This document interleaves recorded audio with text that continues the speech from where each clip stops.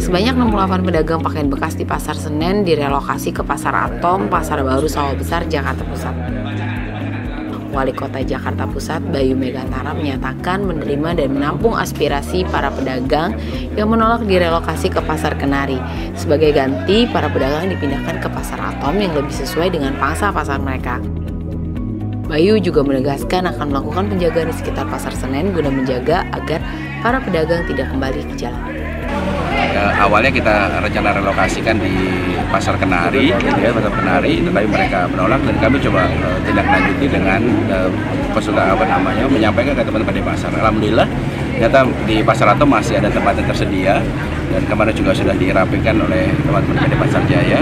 Jadi total hari ini bisa berangkatkan 69 pedagang untuk relokasi di pasar Atom. Mudah-mudahan dan di sana pun juga disambut oleh teman-teman pada pasar Jaya ada penutupan makan siang bersama gitu ya kira-kira seperti itu. Pak ada kompensasi nggak Pak? Apa berapa bulan gratis atau? Iya ada kompensasi ketika PD Pasar sepengetahuan kami ada sekitar enam bulan mereka bisa uh, gratis uh, berjualan di uh, pasar Atom. Tim Kominfotik Jakarta Pusat mengabarkan.